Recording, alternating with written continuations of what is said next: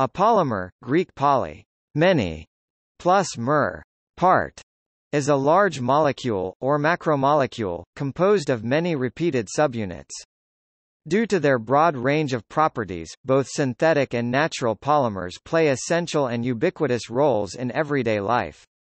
Polymers range from familiar synthetic plastics such as polystyrene to natural biopolymers such as DNA and proteins that are fundamental to biological structure and function. Polymers, both natural and synthetic, are created via polymerization of many small molecules, known as monomers. Their consequently large molecular mass, relative to small molecule compounds, produces unique physical properties including toughness, viscoelasticity, and a tendency to form glasses and semicrystalline structures rather than crystals. The terms polymer and resin are often synonymous with plastic. The term polymer derives from the Greek word polys polis meaning many, much, and meros, meros meaning part, and refers to a molecule whose structure is composed of multiple repeating units, from which originates a characteristic of high relative molecular mass and attendant properties.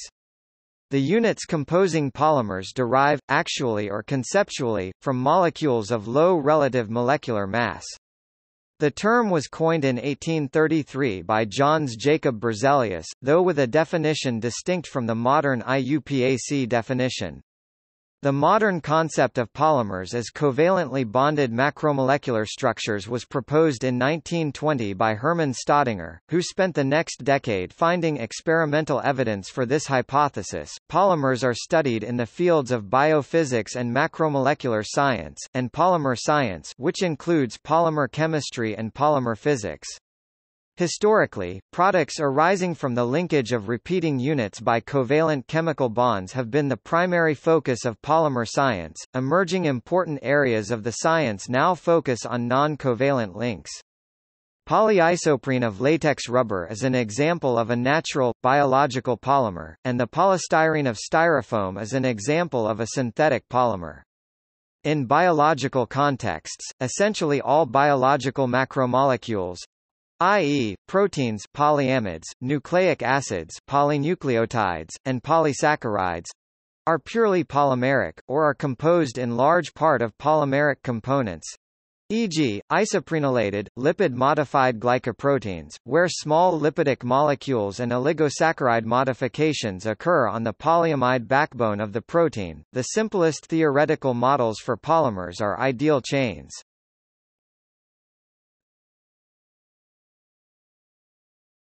Topic: Common examples.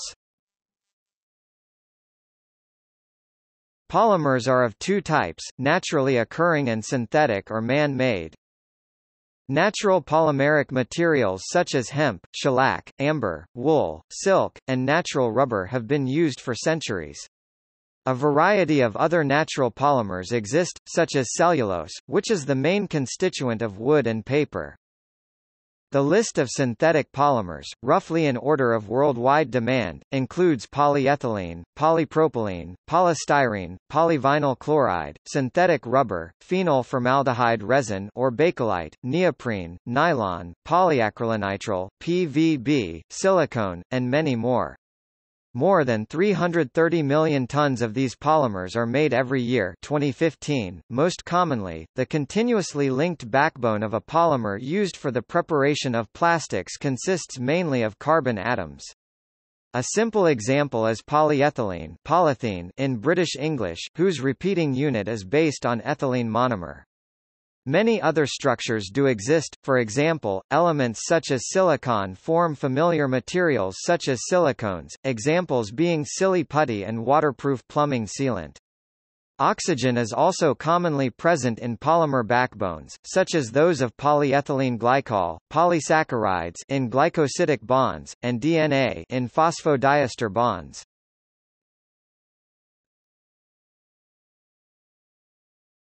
Topic: Synthesis Polymerization is the process of combining many small molecules known as monomers into a covalently bonded chain or network. During the polymerization process, some chemical groups may be lost from each monomer. This happens in the polymerization of PET polyester. The monomers are terephthalic acid HOOC, C6H4, COOH and ethylene glycol HO, CH2, CH2, O but the repeating unit is OC, C6H4, COO, CH2, CH2, O, which corresponds to the combination of the two monomers with the loss of two water molecules. The distinct piece of each monomer that is incorporated into the polymer is known as a repeat unit or monomer residue. Laboratory synthetic methods are generally divided into two categories, step growth polymerization and chain growth polymerization. The essential difference between the two is that in chain growth polymerization, monomers are added to the chain one at a time only, such as in polyethylene, whereas in step growth polymerization chains of monomers may combine with one another directly, such as in polyester. Newer methods, such as plasma polymerization do not fit neatly into either category. Synthetic polymerization reactions may be carried out with or without a catalyst. Laboratory synthesis of biopolymers, especially of proteins, is an area of intensive research.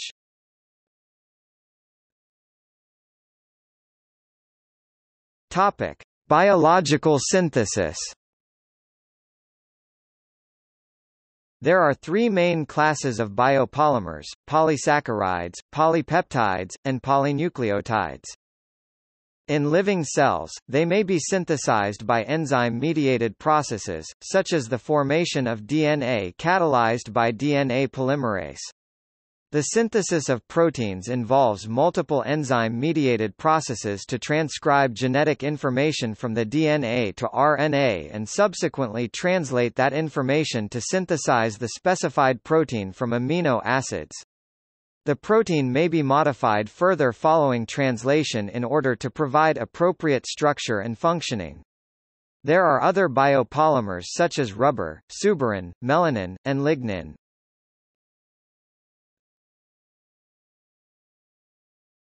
Topic: Modification of natural polymers. Naturally occurring polymers such as cotton, starch, and rubber were familiar materials for years before synthetic polymers such as polyethylene and perspex appeared on the market.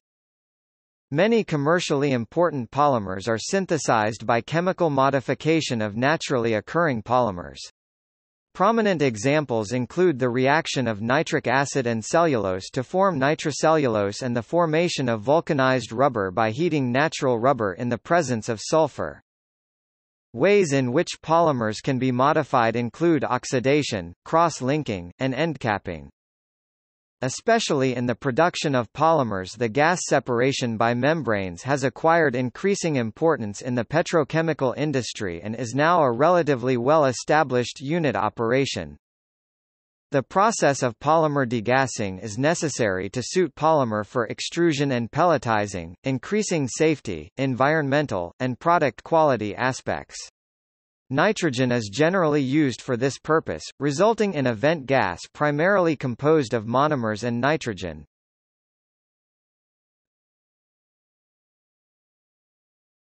Topic: Properties. Polymer properties are broadly divided into several classes based on the scale at which the property is defined as well as upon its physical basis. The most basic property of a polymer is the identity of its constituent monomers. A second set of properties, known as microstructure, essentially describes the arrangement of these monomers within the polymer at the scale of a single chain. These basic structural properties play a major role in determining bulk physical properties of the polymer, which describe how the polymer behaves as a continuous macroscopic material. Chemical properties, at the nanoscale, describe how the chains interact through various physical forces. At the macro scale, they describe how the bulk polymer interacts with other chemicals and solvents.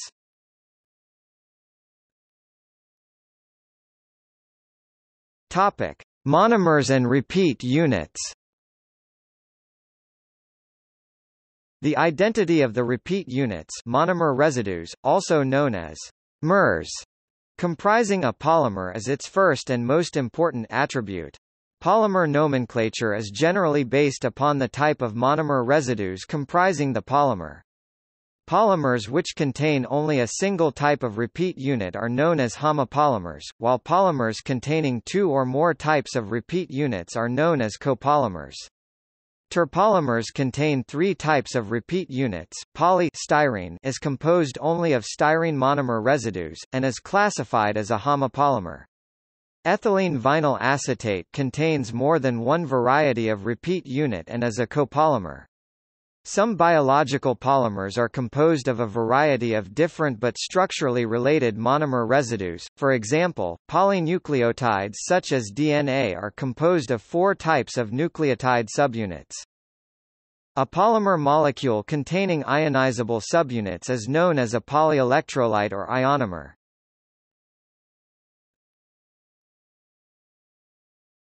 Topic: Microstructure The microstructure of a polymer sometimes called configuration relates to the physical arrangement of monomer residues along the backbone of the chain. These are the elements of polymer structure that require the breaking of a covalent bond in order to change. Structure has a strong influence on the other properties of a polymer.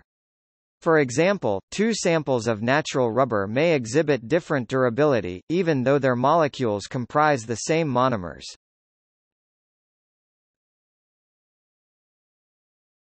Topic: Polymer architecture. An important microstructural feature of a polymer is its architecture and shape, which relates to the way branch points lead to a deviation from a simple linear chain. A branched polymer molecule is composed of a main chain with one or more substituent side chains or branches. Types of branched polymers include star polymers, comb polymers, polymer brushes, dendronized polymers, ladder polymers, and dendrimers. There exist also two-dimensional polymers 2DP, which are composed of topologically planar repeat units. A polymer's architecture affects many of its physical properties including, but not limited to, solution viscosity, melt viscosity, solubility in various solvents, glass transition temperature and the size of individual polymer coils in solution. A variety of techniques may be employed for the synthesis of a polymeric material with a range of architectures, for example living polymerization.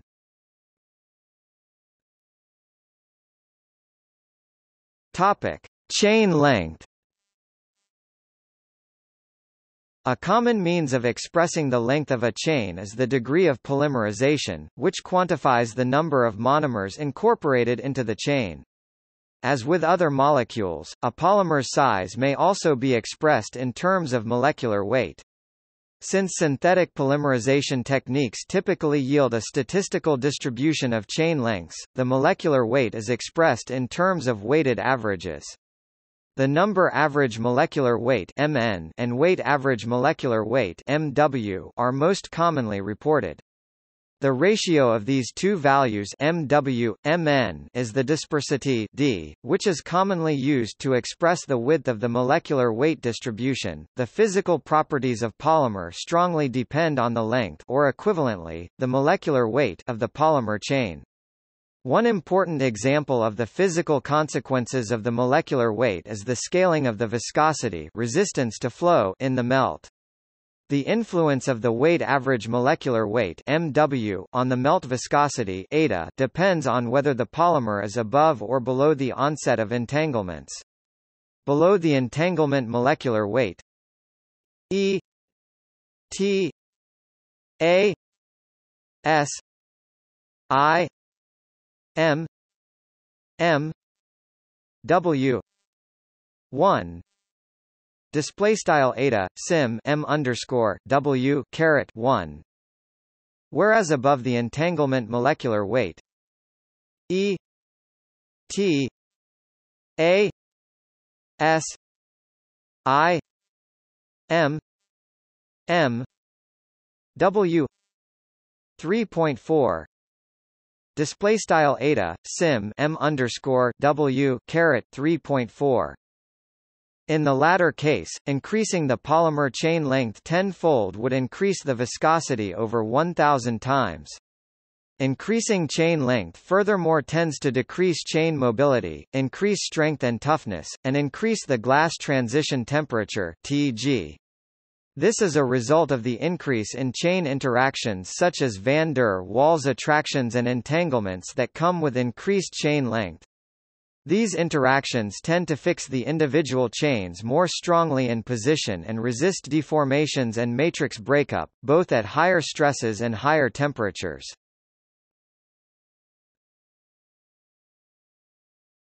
Topic: Monomer arrangement in copolymers. Monomers within a copolymer may be organized along the backbone in a variety of ways. A copolymer containing a controlled arrangement of monomers is called a sequence-controlled polymer. Alternating, periodic and block copolymers are simple examples of sequence-controlled polymers. Alternating copolymers possess two regularly alternating monomer residues, A B N structure 2 at right. An example is the equimolar copolymer of styrene and maleic anhydride formed by free radical chain growth polymerization. A step growth copolymer such as nylon 66 can also be considered a strictly alternating copolymer of diamine and diacid residues, but is often described as a homopolymer with the dimeric residue of one amine and one acid as a repeat unit. Periodic copolymers have monomer residue types arranged in a repeating sequence, A and BM M being different from N Statistical copolymers have monomer residues arranged according to a statistical rule. A statistical copolymer in which the probability of finding a particular type of monomer residue at a particular point in the chain is independent of the types of surrounding monomer residue may be referred to as a truly random copolymer structure 3. For example, the chain growth copolymer of vinyl chloride and vinyl acetate is random. Block copolymers have long sequences of different monomer units structure 4. Polymers with two or three blocks of two distinct chemical species e.g., A and B are called diblock copolymers and triblock copolymers, respectively. Polymers with three blocks, each of a different chemical species e.g., A, B, and C are termed triblock terpolymers. Graft or grafted copolymers contain side chains or branches whose repeat units have a different composition or configuration than the main chain. Structure 5. The branches are added on to a preformed main chain macromolecule. Topic: Tacticity Tacticity describes the relative stereochemistry of chiral centers in neighboring structural units within a macromolecule. There are three types of tacticity: isotactic, all substituents on the same side; atactic, random placement of substituents; and syndiotactic, alternating placement of substituents.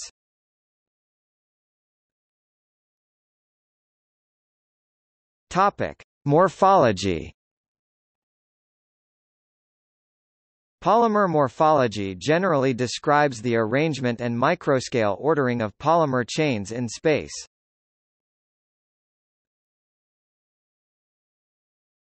Topic: Crystallinity. When applied to polymers, the term crystalline has a somewhat ambiguous usage. In some cases, the term crystalline finds identical usage to that used in conventional crystallography. For example, the structure of a crystalline protein or polynucleotide, such as a sample prepared for X-ray crystallography, may be defined in terms of a conventional unit cell composed of one or more polymer molecules with cell dimensions of hundreds of angstroms or more. A synthetic polymer may be loosely described as crystalline if it contains regions of three-dimensional ordering on atomic rather than macromolecular length scales, usually arising from intramolecular folding and or stacking of adjacent chains. Synthetic polymers may consist of both crystalline and amorphous regions. The degree of crystallinity may be expressed in terms of a weight fraction or volume fraction of crystalline material. Few synthetic polymers are entirely crystalline. The crystallinity of polymers is characterized by their degree of crystallinity, ranging from 0 for a completely non-crystalline polymer to 1 for a theoretical completely crystalline polymer. Polymers with microcrystalline regions are generally tougher can be bent more without breaking and more impact-resistant than totally amorphous polymers. Polymers with a degree of crystallinity approaching 0 or 1 will tend to be transparent, while polymers with intermediate degrees of crystallinity will tend to be opaque due to light scattering by crystalline or glassy regions. For many polymers, reduced crystallinity may also be associated with increased transparency.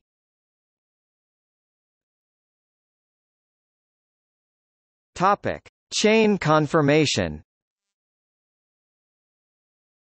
The space occupied by a polymer molecule is generally expressed in terms of radius of gyration, which is an average distance from the center of mass of the chain to the chain itself. Alternatively, it may be expressed in terms of pervaded volume, which is the volume of solution spanned by the polymer chain and scales with the cube of the radius of gyration.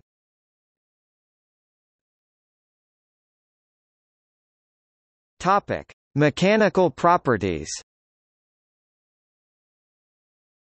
The bulk properties of a polymer are those most often of end-use interest. These are the properties that dictate how the polymer actually behaves on a macroscopic scale.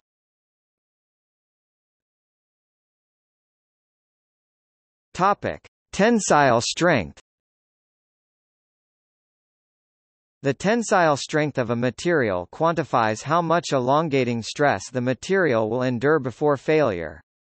This is very important in applications that rely upon a polymer's physical strength or durability. For example, a rubber band with a higher tensile strength will hold a greater weight before snapping. In general, tensile strength increases with polymer chain length and crosslinking of polymer chains.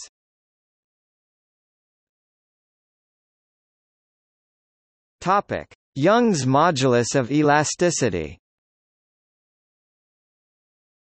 Young's modulus quantifies the elasticity of the polymer. It is defined, for small strains, as the ratio of rate of change of stress to strain. Like tensile strength, this is highly relevant in polymer applications involving the physical properties of polymers, such as rubber bands. The modulus is strongly dependent on temperature. Viscoelasticity describes a complex time-dependent elastic response, which will exhibit hysteresis in the stress-strain curve when the load is removed. Dynamic mechanical analysis or DMA measures this complex modulus by oscillating the load and measuring the resulting strain as a function of time.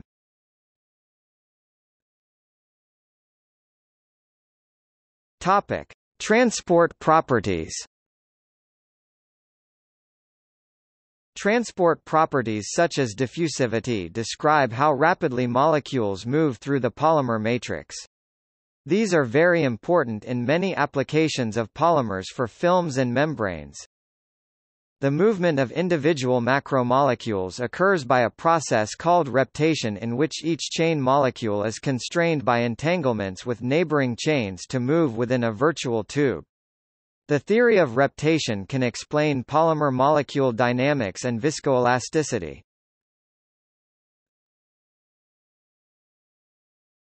Topic: Phase behavior.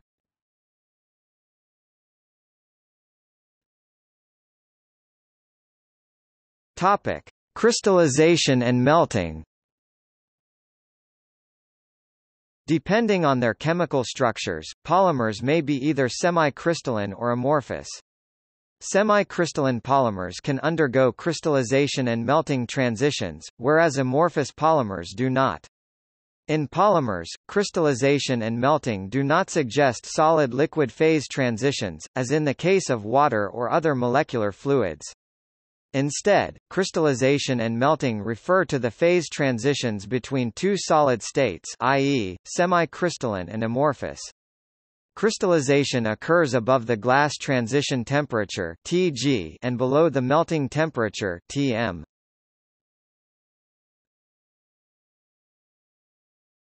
Topic: Glass transition. All polymers amorphous or semi-crystalline go through glass transitions.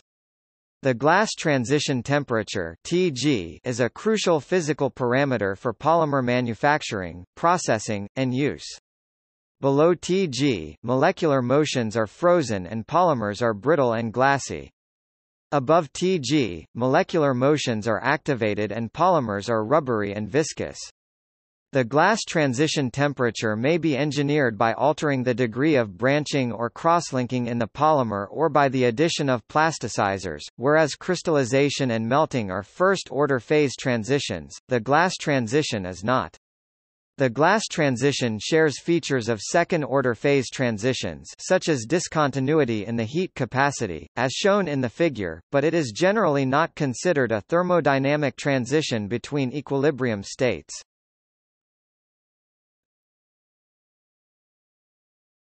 Topic: Mixing behavior. In general, polymeric mixtures are far less miscible than mixtures of small molecule materials. This effect results from the fact that the driving force for mixing is usually entropy, not interaction energy. In other words, miscible materials usually form a solution not because their interaction with each other is more favorable than their self-interaction, but because of an increase in entropy and hence free energy associated with increasing the amount of volume available to each component. This increase in entropy scales with the number of particles or moles being mixed. Since polymeric molecules are much larger and hence generally have much higher specific volumes than small molecules, the number of molecules involved in a polymeric mixture is far smaller than the number in a small molecule mixture of equal volume. The energetics of mixing, on the other hand, is comparable on a per-volume basis for polymeric and small molecule mixtures. This tends to increase the free energy of mixing for polymer solutions and thereby making solvation less favorable, and thereby making the availability of concentrated solutions of polymers far rarer than those of small molecules. Furthermore, the phase behavior of polymer solutions and mixtures is more complex than that of small molecule mixtures. Whereas most small molecule solutions exhibit only an upper critical solution temperature phase transition, at which phase separation occurs with cooling, polymer mixtures commonly exhibit a lower critical solution temperature phase transition, at which phase separation occurs with heating. In dilute solution, the properties of the polymer are characterized by the interaction between the solvent and the polymer. In a good solvent, the polymer appears swollen and occupies a large volume. In this scenario, intermolecular forces between the solvent and monomer subunits dominate over intramolecular interactions. In a bad solvent or poor solvent, intramolecular forces dominate and the chain contracts. In the theta solvent, or the state of the polymer solution where the value of the second virial coefficient becomes zero, the intermolecular polymer-solvent repulsion balances exactly the intramolecular monomer-monomer attraction. Under the theta condition also called the Flory condition, the polymer behaves like an ideal random coil. The transition between the states is known as a coil-globule transition,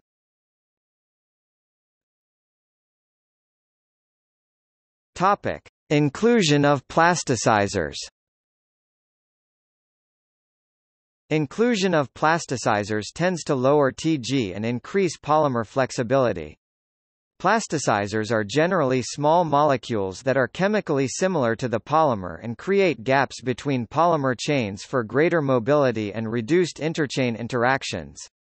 A good example of the action of plasticizers is related to polyvinyl chlorides or PVCs. A UPVC, or unplasticized polyvinyl chloride, is used for things such as pipes. A pipe has no plasticizers in it, because it needs to remain strong and heat-resistant.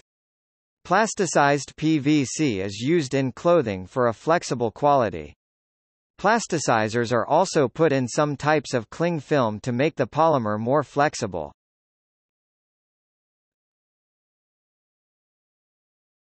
Topic: Chemical properties.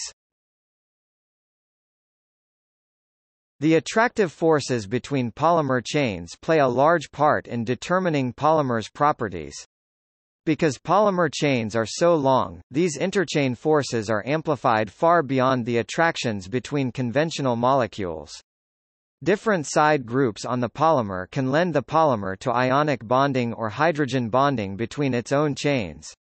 These stronger forces typically result in higher tensile strength and higher crystalline melting points. The intermolecular forces in polymers can be affected by dipoles in the monomer units.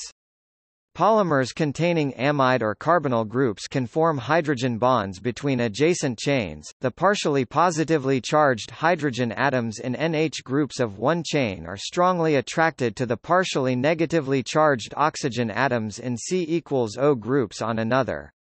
These strong hydrogen bonds, for example, result in the high tensile strength and melting point of polymers containing urethane or urea linkages.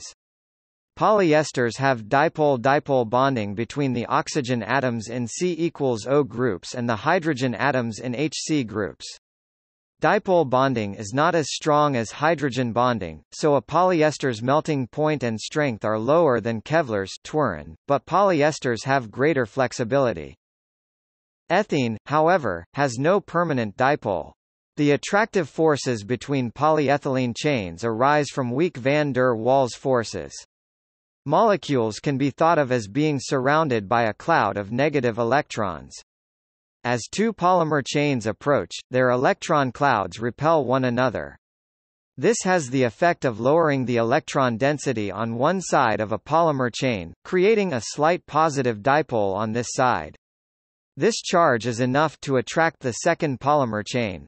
Van der Waals forces are quite weak, however, so polyethylene can have a lower melting temperature compared to other polymers.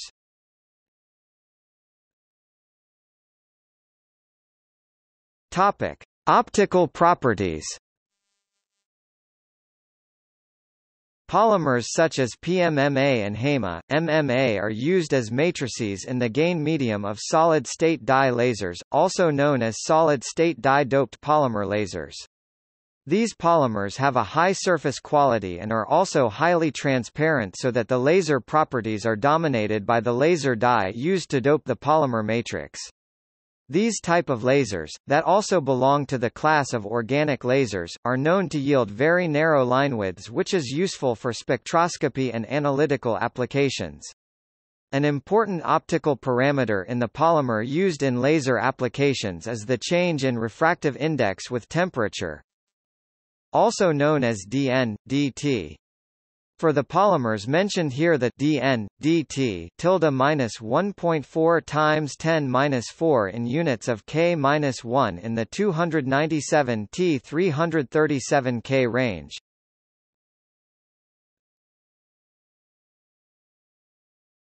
Topic: Standardized nomenclature. There are multiple conventions for naming polymer substances. Many commonly used polymers, such as those found in consumer products, are referred to by a common or trivial name. The trivial name is assigned based on historical precedent or popular usage rather than a standardized naming convention. Both the American Chemical Society and IUPAC have proposed standardized naming conventions. The ACS and IUPAC conventions are similar but not identical. Examples of the differences between the various naming conventions are given in the table below. In both standardized conventions, the polymers' names are intended to reflect the monomers from which they are synthesized rather than the precise nature of the repeating subunit. For example, the polymer synthesized from the simple alkene ethene is called polyethylene, retaining the -ene suffix even though the double bond is removed during the polymerization process. Topic: – Characterization Polymer characterization spans many techniques for determining the chemical composition, molecular weight distribution, and physical properties. Select common techniques include the following. Size exclusion chromatography also called gel permeation chromatography, sometimes coupled with static light scattering, can use to determine the number average molecular weight, weight average molecular weight, and dispersity. Scattering techniques, such as static light scattering and small-angle neutron scattering, are used to determine the dimensions radius of gyration of macromolecules in solution or in the melt. These techniques are also used to characterize the three-dimensional structure of microphase-separated block polymers, polymeric micelles, and other materials. Wide-angle X-ray scattering also called wide-angle X-ray diffraction is used to determine the crystalline structure of polymers or lack thereof. Spectroscopy techniques, including Fourier transform infrared spectroscopy, Raman spectroscopy, and nuclear magnetic resonance spectroscopy, can be used to determine the chemical composition. Differential scanning calorimetry is used to characterize the thermal properties of polymers, such as the glass transition temperature, crystallization temperature, and melting temperature. The glass transition temperature can also be determined by dynamic mechanical analysis. Thermogravimetry is a useful technique to evaluate the thermal stability of the polymer. Rheology is used to characterize the flow and deformation behavior. It can be used to determine the viscosity, modulus, and other rheological properties. Rheology is also often used to determine the molecular architecture molecular weight, molecular weight distribution, branching and to understand how the polymer can be processed.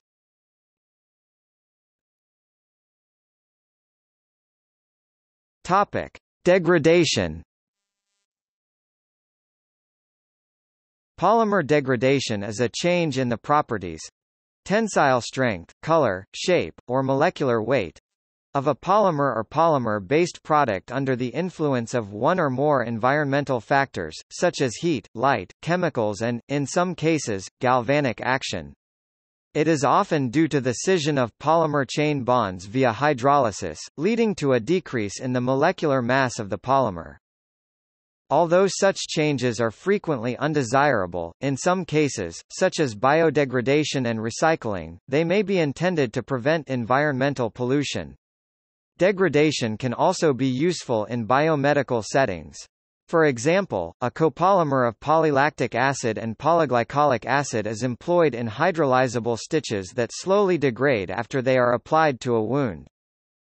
The susceptibility of a polymer to degradation depends on its structure. Epoxies and chains containing aromatic functionalities are especially susceptible to UV degradation while polyesters are susceptible to degradation by hydrolysis, while polymers containing an unsaturated backbone are especially susceptible to ozone cracking. Carbon-based polymers are more susceptible to thermal degradation than inorganic polymers such as polydimethylsiloxane and are therefore not ideal for most high-temperature applications. High-temperature matrices such as bismaleimides BMI, condensation polyimides with an OCN bond, triazines with a nitrogen N containing ring, and blends thereof are susceptible to polymer degradation in the form of galvanic corrosion when bare carbon fiber reinforced polymer CFRP is in contact with an active metal such as aluminium in salt water environments.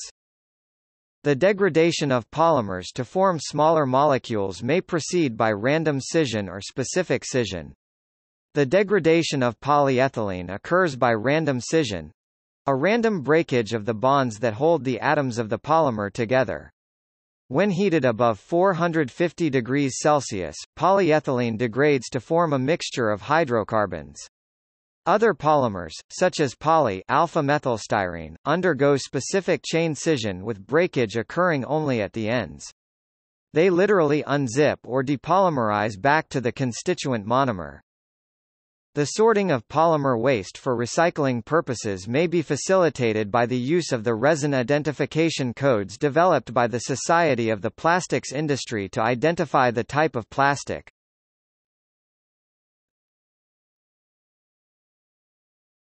Topic: Product failure. In a finished product, such a change is to be prevented or delayed. Failure of safety-critical polymer components can cause serious accidents, such as fire in the case of cracked and degraded polymer fuel lines. Chlorine-induced cracking of acetal resin plumbing joints and polybutylene pipes has caused many serious floods in domestic properties, especially in the U.S. in the 1990s.